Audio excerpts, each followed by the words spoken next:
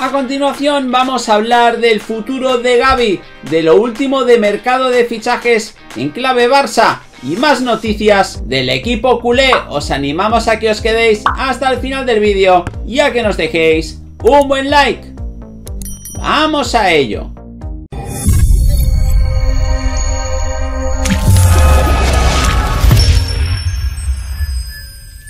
Hola de nuevo gente, ¿cómo estáis? Bienvenidos a un nuevo vídeo de Objetivo Gol. Vamos con la última hora del Barcelona. Y sin más dilación, vamos con la primera noticia y vamos a ver cómo el Barça sigue tras los pasos de Darwin Núñez. Es uno de los delanteros de moda de Europa. Darwin Núñez, a sus 22 años, ha entrado en las agendas de equipos como el Barcelona, el Arsenal y el Manchester United. Pese a que el Benfica pide la friolera de 80 millones de euros por su traspaso, el atacante uruguayo anotó el único tanto del Benfica en el cara a cara de Champions contra el Liverpool. Pese a la derrota del 4 luso por el 1 a 3, un gol con el que ha aumentado hasta los 5 los tantos anotados en la máxima competición europea. Darwin es de calidad en la Champions, dos goles frente al Barcelona, uno más ante el Bayern de Múnich, otro del Ajax y la diana de la que ya hemos hablado frente al conjunto red. En total, en su segunda temporada en el Benfica, Darwin Núñez ha celebrado 28 goles en 35 partidos oficiales, 26 de ellos como titular, unas cifras que han llevado a que media Europa se interese en su fichaje, y entre todos ellos se encuentra un Barça que no ha tirado la toalla por el charrúa. Según señala el diario Sports, los azulgranas siguen vigilando al jugador del conjunto portugués, al que ya estuvieron estudiando en el Ajax Benfica disputado en Ámsterdam. Por tanto, este es el interés del Barça en el charrúa Vamos a hablar del interés del Barça, en este caso en un brasileño, en Rafinha, y es que Ronaldinho ha aprobado el fichaje del extremo del Leeds. Rafinha ganará enteros en su carrera por fichar con el FC Barcelona en verano. Este martes el delantero del Leeds sumó una recomendación de lujo gracias a su compatriota Ronaldinho, quien no dudó para recomendar su llegada al Barça para la próxima temporada.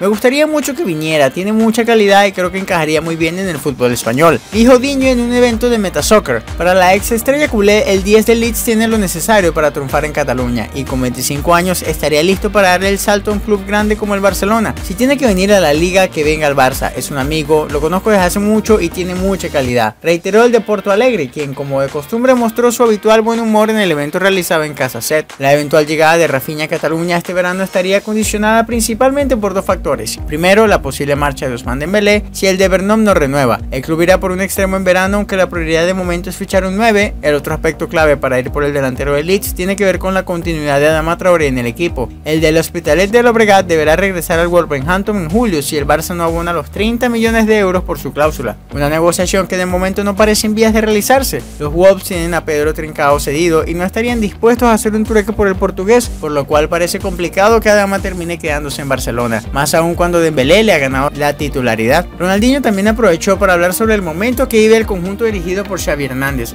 Nosotros también empezamos un poco mal y después remontamos. Ojalá que ellos puedan hacer lo mismo que nosotros en nuestra época. Estoy contentísimo por Xavi y espero que continúe haciendo bien y dé alegrías a la afición del Barça. Dijo el brasileño, quien también tuvo elogios para Pedri. Ojalá que pueda marcar una época. Tiene mucha calidad y lo está demostrando, puntualizó. Vamos a hablar ahora del futuro de Gaby y es que el Barcelona sigue pasando de la renovación del canterano. Desde diciembre que se iniciaron las conversaciones entre el entorno de Gaby y el Barcelona para tratar su renovación, la institución pidió posponer todo para el mes de enero ya que debían priorizar la llegada de refuerzos durante el mercado invernal. Quedaba claro que todo se retomaría con normalidad dado el interés de ambas partes de asegurar su continuidad en el club. Sin embargo, llegó el mes de abril y ese encuentro aún no se ha dado. Desde inicios de año que el centrocampista está esperando una propuesta, pero el Barça no ha encontrado la oportunidad de presentarla ante la extrañeza de los representantes del andaluz. Todo en esto con el trasfondo público donde la entidad asegura que todas las negociaciones van por buen camino. Aunque existe la certeza de que desea continuar vistiendo la elástica azulgrana, para retenerle es importante llegar a un acuerdo económico. Con un contrato vigente hasta 2020 2023 y una cláusula de recesión de 50 millones de euros, los culés deberán hacer sus deberes para retomar el contacto. Gaby espera una oferta acorde a su importancia dentro de la plantilla y pese a solo tener 17 años, es un fijo en las rotaciones de Xavi Hernández y en la roja con Luis Enrique. Su irrupción le ha puesto en la mira de toda Europa y su nuevo contrato deberá valorarle como un futbolista importante por mucho que la directiva se excuse con los problemas financieros, los mismos que parecen no existir para fichar a Anders Christensen y Frank Kessie, que si bien aterrizarán sin desembolsar un euro por su traspaso, tendrán un sueldo elevado por encima de Pedri, Ferran Torres y probablemente Ronald Araujo. Esto podría generar un conflicto de intereses en un vestuario joven con varias estrellas en crecimiento. El Barcelona no ve con malos ojos fichar a coste cero, pero complementar esto con unos emolumentos elevados podría traer complicaciones a futuro. De momento, las negociaciones para renovar a Gaby se encuentran encalladas, pero su paciencia podría valer la pena. El tiempo corre y el propio Xavi ya lo ha advertido, el club no puede permitirse perderle.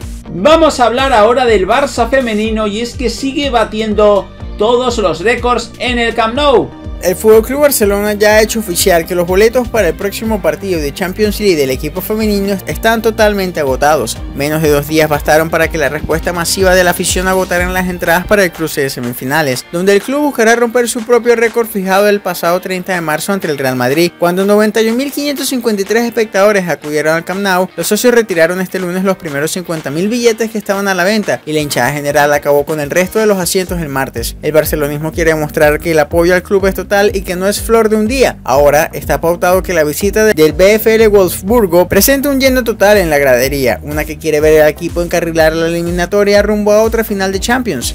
Sin embargo, el Barça aún tiene entradas que por normativa de la UEFA deberá conservar y poner en venta en taquilla los días previos al partido, donde están incluidos los diferentes colectivos y aquellas devoluciones que pudieran generarse en los días siguientes. La entidad espera superar el número de espectadores que hubo frente al Madrid en los cuartos de final y que supuso el récord mundial en un partido oficial femenino. Ya de lleno en lo deportivo, las futbolistas del primer equipo quieren sacarse las dos derrotas que han tenido ante las hermanas en Europa. La primera de ellas ocurrió en la campaña 2013-2014 donde las culés cayeron 3 a 0 en Alemania y también en el mini stadi seis años después, que a partido único debido a la explosión del COVID volverán a caer en el Real Arena de San Sebastián por un marcador de 1-0. Es por ello que a pesar de tener la oportunidad de batir nuevamente su marca, lo que está en juego va más allá de los boletos vendidos. El FC Barcelona tiene una marca perfecta en la liga donde ha ganado todos los partidos, marcando 144 goles y encajando solo 8. Es por ello que llegan como las claras favoritas para avanzar a la gran final y levantar otra vez la orejona. Y ya para acabar, vamos a hablar del último amistoso del Barça que se ha hecho oficial. El Barcelona anunció este miércoles el que será su primer encuentro en Australia. El club azulgrana disputará un amistoso el 25 de mayo en Sydney ante el All Stars de la A-League, la máxima categoría del fútbol local. El equipo de Xavi Hernández viajará a tierras australianas una vez finalice la liga para disputar este amistoso en el Accor Stadium de Sydney, con capacidad para 80.000 espectadores, y regresará justo después del partido. Yuli Yui, vicepresidente del área de marketing, resaltó la importancia de acercar el barcelonismo a nuevos horizontes. Declaraciones por los medios oficiales del club, será la primera vez que el primer equipo del fútbol visite este país, donde el Barça genera un gran interés. El hecho de poder disputar este encuentro nos dará la oportunidad de acercar al club y sus valores a nuestros fans y también nos dará la oportunidad de que nuevas audiencias conozcan al Fútbol Club Barcelona y todo lo que representa, que lo han convertido en una entidad referente dentro y fuera de los terrenos de juego, agregó. La elección del equipo que representa a la Liga Australiana se hará conocer en los próximos días. Hay cierta incertidumbre al respecto, ya que el partido se disputará entre las semifinales y la del playoff por el título, por lo que los jugadores implicados podrían verse afectados por el desgaste o posibles lesiones. Nada más por el momento, como siempre animaros a que os suscribáis al canal para seguir viendo todos nuestros vídeos. Y aquí os dejamos este vídeo más que interesante para que sigáis disfrutando de todas las noticias del fútbol. ¡Hasta la próxima!